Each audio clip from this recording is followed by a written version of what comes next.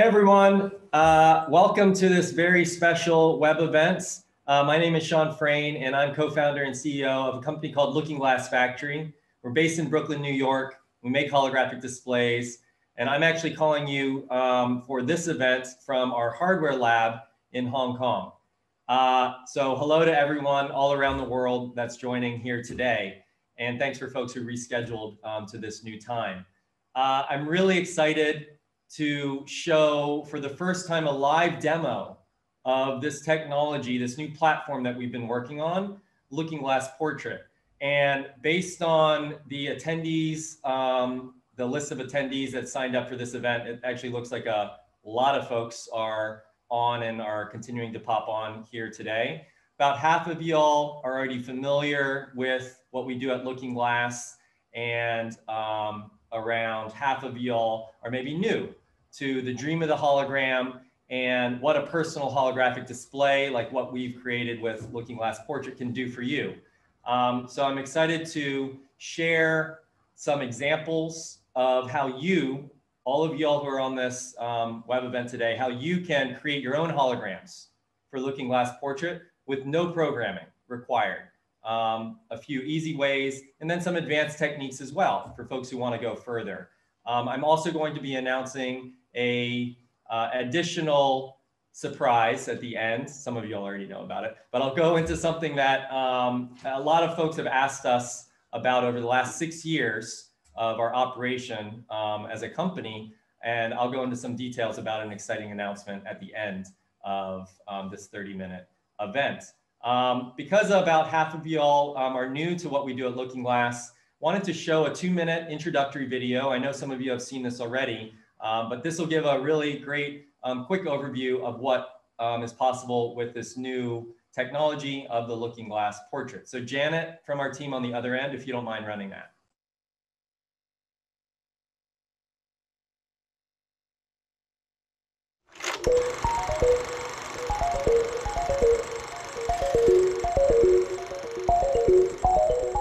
Over the last six years, we've developed a new type of technology it works like a magical looking glass. By controlling the direction of millions of rays of light, what you see through it becomes as real as the world around you. This is the Looking Glass Portrait, your first personal holographic display.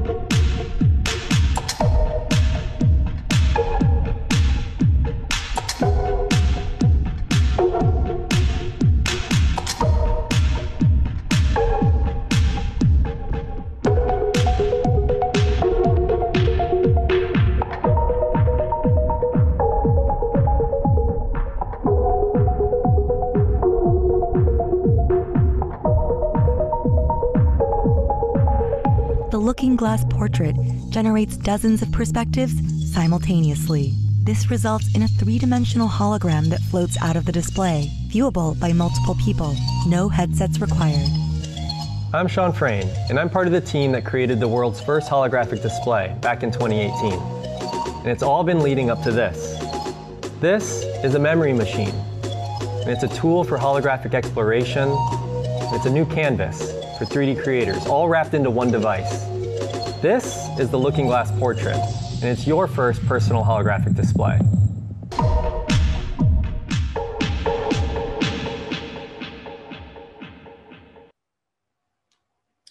Uh, so you can see I haven't moved position or wardrobe since we shot that video.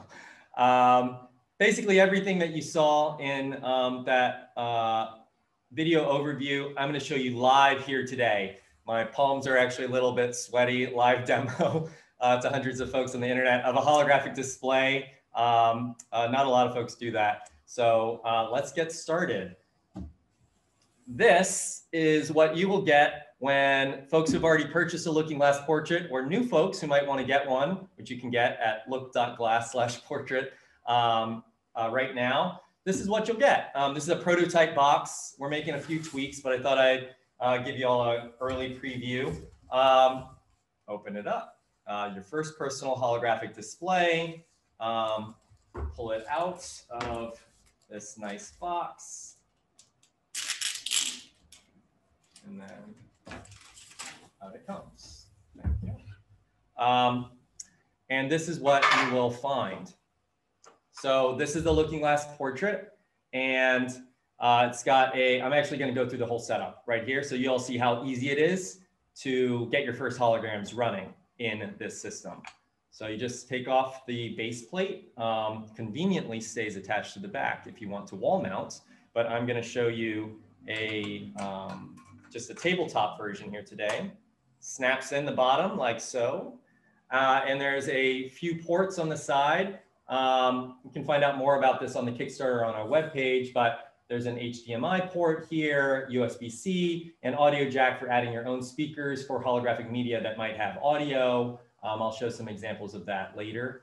Um, and then on button and uh, lighting control button and some advanced back and pause buttons on the side.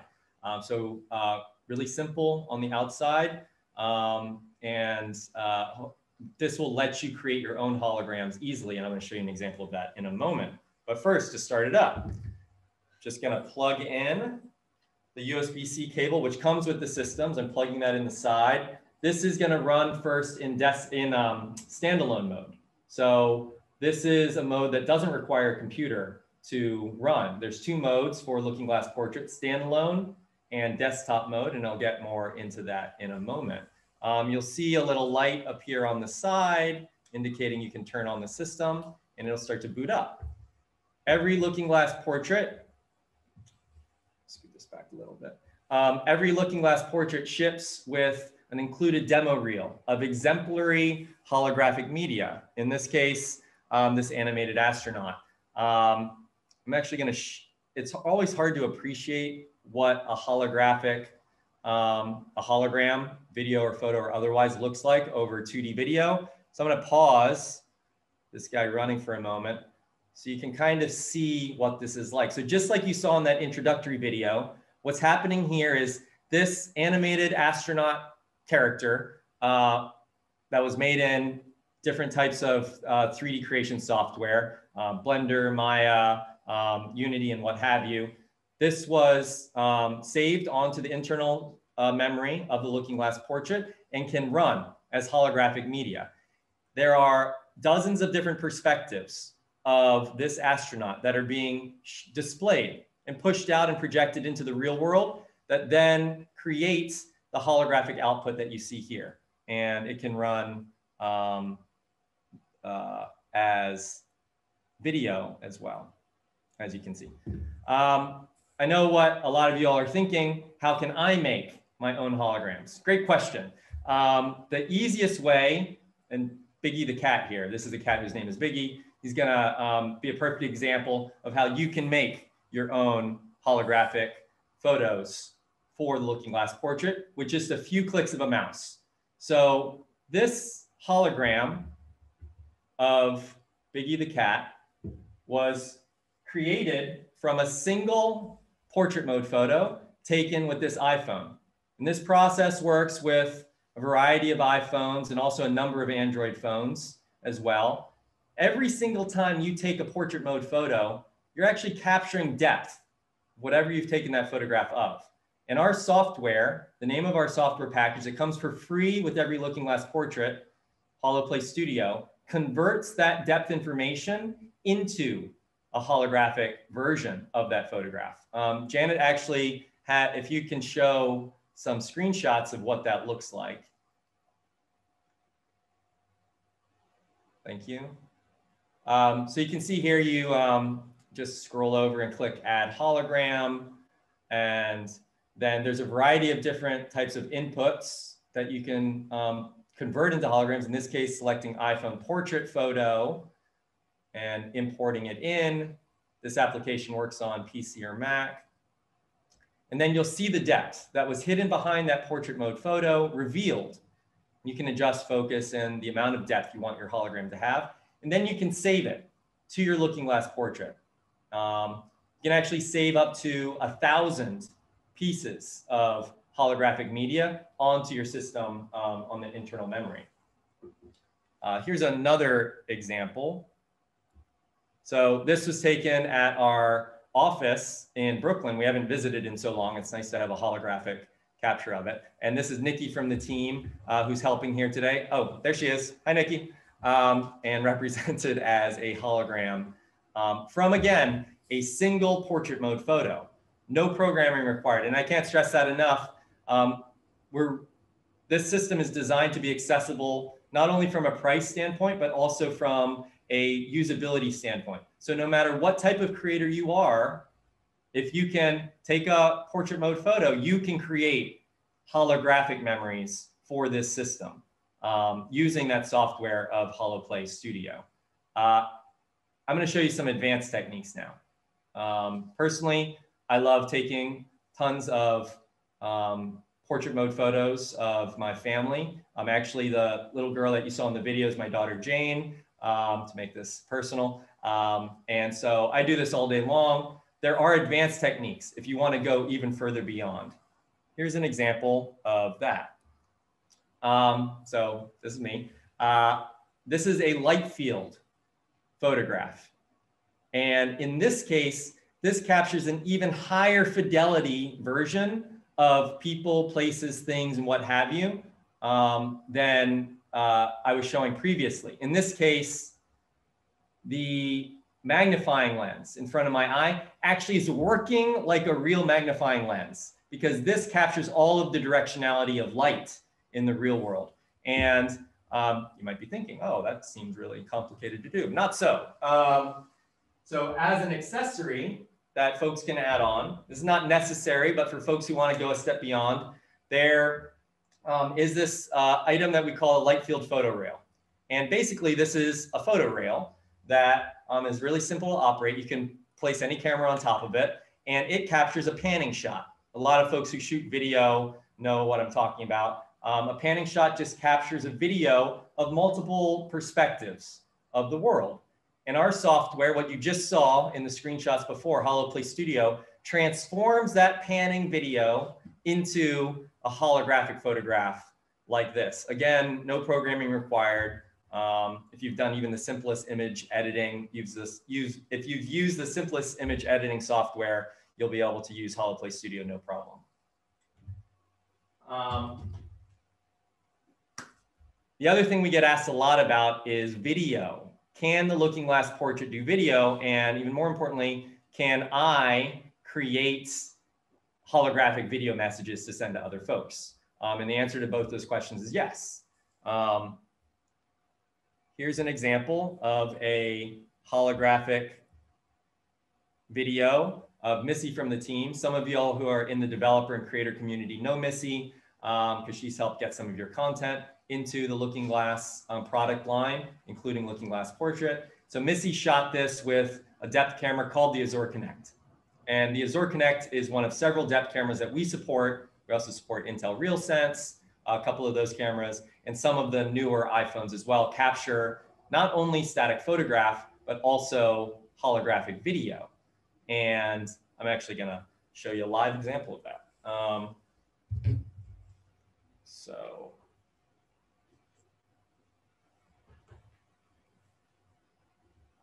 This is me. And this is on Azure Kinect right here. And I'm streaming right now to this looking glass. Uh, it's obviously live. Um, this would be really hard to fake. Um, obviously live. And I could, with a single click of a button, um, well, single click of a mouse, record a 10 second clip and send this to my mom, who's probably watching this webinar right now. Hi, mom. And she would then have it running in her looking glass portrait when she gets one of, I think, the 10 units that she bought. Um, and this is not only the first time that non-programmers can do this and send holographic video messages around the world, it's really the first time anyone's been able to do it. And that's one of the most exciting things about um, the community that's developing around Looking Glass Portrait is it's all sorts of creators, which includes folks who just shoot amazing photos with their phone. Now those can be given new life and transformed into holographic memories uh, in their Looking Glass portrait um, and shared with other folks as well. Um, gonna put myself back over here. Um, I don't want the folks who are in the developer community to feel left out. Um, so I did want to mention that we have full support for our Unity and Unreal plugins. Those are game engines used to make holographic apps. And um, thousands of y'all out there already use our plugins for those engines.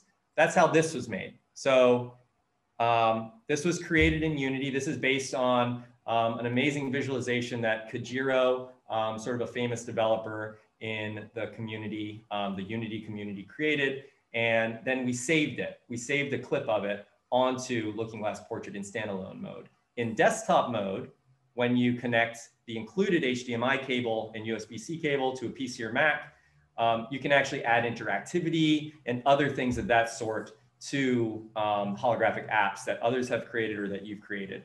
Um, but in this case, this is uh, pre-recorded and running um, on this system that's connected just to wall power right now wanted to um, kind of illustrate here. So I paused it. And thank you, Nikki. Um, you can see Nikki's actually touching um, the squid of this um, visualization, which is appearing a couple inches actually out of the device itself. Um, that's another neat thing about this new version of Looking Glass. For those of you who are familiar with our, our previous dev kits, this system has no volume inside, it's hollow. So you can actually, the holograms escape the physical bounds, the physical um, constraints of the display itself. Um, it's actually a super light system because of us reworking the optics from our prior generation system. And um, that also has the benefit of unlocking this capability as well of the holograms living in the space in front of and behind the physical device itself. Um, and again, very, very light. Um, so, uh, oh, I mentioned that there was something that I wanted to um, share at the very end that we've been working on for a long time. We're fortunate to have found a great partner to work with to bring something that folks in our community have dreamed about for the last six years at least, and much longer than that if you go beyond um, our company. And that's, is it possible to transform 2D media into holographic media? Because everything I just showed you is natively three-dimensional. A portrait mode photo has depth that's hidden behind the color photograph that you'll see on your phones. Um, the holographic video messages or these Unity apps or the light field photos, those are also natively three-dimensional in that they have three-dimensional information that's baked into those captures. But what if I wanted to take a photo from 20 or 30 years ago? And transform that into a holographic version of that photograph. Um, I'm excited to share that that is now possible with an additional service that folks will be able to get access to um, when they get their looking glass portraits. Um, Janet, if you can share that photo that my mom sent over to me. Um, so that's a photo of me, um, smug, smug smirk on my face um, at my third birthday party. Um, and uh, this was taken before digital cameras. Uh, and my mom scanned this in and using this new process, we were able to generate synthetic depth. That's what you see on the left. That's that grayscale image that then we can use that same HoloPlay studio software that comes with all of the Looking Glass portraits that can then be transformed into a holographic version of that photo in just a few seconds, again, with just a few clicks of a mouse. Um, it even works for photos that are older. So um, this next photo is photo of, if you can share that next one, Jan, thank you. Uh, that's my grandpa, TJ Frayne. Um, and I was really surprised that this actually worked. But you can see him looking all cool behind his motorcycle. And uh, there's synthetic depth, a synthetic depth map that is all you need to then transform that archival memory into a holographic photograph, um, which I'm going to show you right here, actually.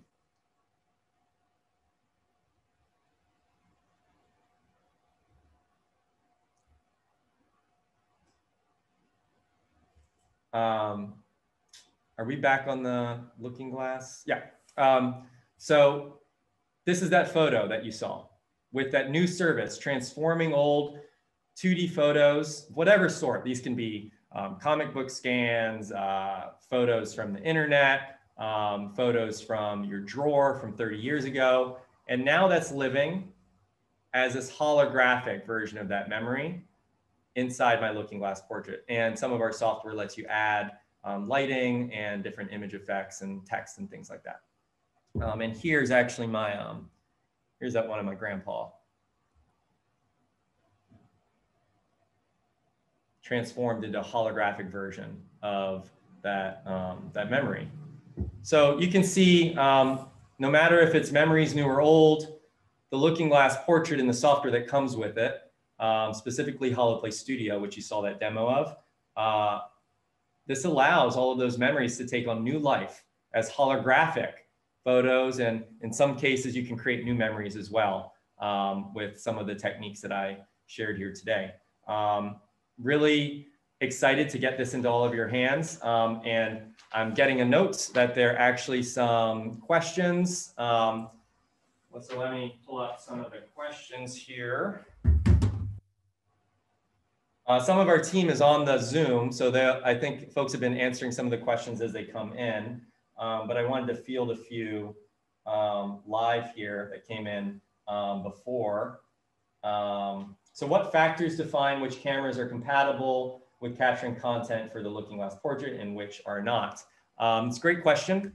So any of the newer iPhones, so iPhone uh, 7 plus, 8 plus, um, 10, 11, 12, including all the variations, mini, pro, etc., as well as a number of Android phones, like a lot of the Galaxy series, the Samsung Galaxy series, um, Pixel 3, 4, and 5, and a number of others. Um, those can capture portrait mode photos that have depth hidden behind the color image that you see in your photo album. And HoloPlay Studio can completely for free can convert those portrait mode photos into holographic versions of those memories. Um, and it, you can email it to other folks who um, might have a looking glass portrait and they can um, share in that experience as well. Um, with regards to the camera rail, the Lightfield um, photo rail, uh, any camera really will do. So whether it's a phone, a point and shoot or DSLR, all of those work. Um, and it's really just a moving camera. We recommend 4K capture or higher for the uh, Lightfield photo rail. Um, and we have more details on this on the Kickstarter, which is look.glass slash portrait as well for folks who want to check that out. If you have specific questions, um, you can join our Discord where a lot of the community is talking about um, a lot of what's possible and what they're going to start to make immediately the moment they get their looking glass portraits and that's at look.glass slash discord. Um, another question is, what kind of photos work best for the 2D to 3D conversion? Uh, generally photos of people. So um, it can be multiple people. Um, doesn't matter if they're scanned photos or photos that are non-portrait that happen to be sitting in your photo album um, on your phone. All of those will work with this process. Um, as well as some stuff that goes even beyond people, like um, comic book characters and what have you. And over time, this uh, will broaden out to um, additional types of, um, you know, additional uh, types of photos that you can use in that conversion process. But for now, we recommend really focusing on people, uh, pets, oh, people, pets, and comic books. um, uh, what's next for Looking Glass is the last question um, it looks like we have time for here. Uh, so um, we've actually always got a lot bubbling in the background and there's a whole lot that's bigger than us that's happening on the capture side, holographic capture, on the dream of what it would be like to um, do a holographic webinar, um, as well as um, advances that we're pushing forward on the display side and on some of the software that um, creates all of this content and that you all can use to create all of this content. Um, and we're, we're not talking about um, too much of that going on in the background.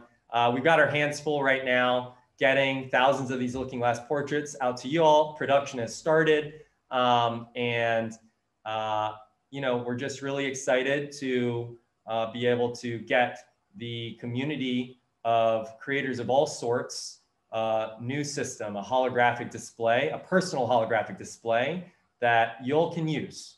Um, no programming required um, unless you want um, to do things like Unity and whatnot, but no programming required to do almost all the stuff that I showed you here today. Um, so I, am getting the cue that that's um, we're coming to end of time. Um, thank you so much, everybody, for being a part of this very special. And now that we're through it, um, uh, it was a little stressful live demo of the Looking Glass portrait. Um, uh, we're going to be doing more of these over the coming uh, weeks and months. So excited to see y'all there. Um, there's still about 55 hours, I think, left on the Kickstarter. Um, the Looking Glass portrait is uh, 249 bucks. Um, it's probably never going to be this inexpensive to get your own personal holographic display. I, I know it seems crazy that that's even possible, um, but we really wanted to get this into a lot of folks' hands. The more folks in the community, the more that we can do together to build this holographic future. So please go to look.glass slash portrait if you're at all interested in what we were chatting about here today. Get your own, and I'm excited to see you in the future.